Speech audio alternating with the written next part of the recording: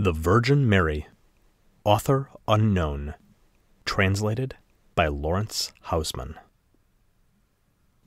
Portal of the world's salvation, lo, a virgin pure and mild, humble hearted, high in station, form of beauty undefiled. Crown of earth's anticipation, comes the mother maid with child.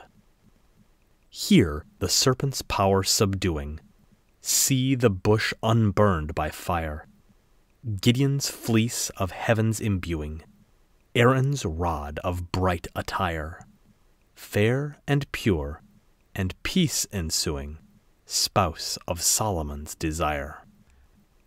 Jesse's branch received its flower, mother of Emmanuel, portal sealed and mystic bower, promised by Ezekiel, rock of Daniel's dream, whose power smote, and lo, the image fell.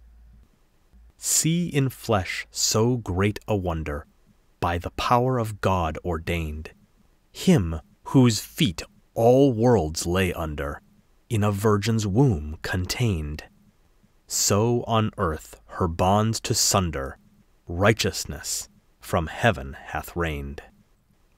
Virgin sweet with love o'erflowing, to the hills in haste she fares, on a kindred bestowing blessing from the joy she bears, waiting while with mystic showing time the sacred birth prepares.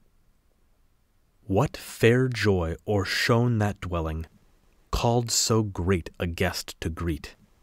What her joy whose love compelling found a rest for Mary's feet? When the bliss of time foretelling, lo, the voice and word did meet. God most high, the heaven's foundation, ruler of eternity, Jesus, who for man's salvation came in flesh to make us free. Spirit, moving all creation, evermore be praised to thee.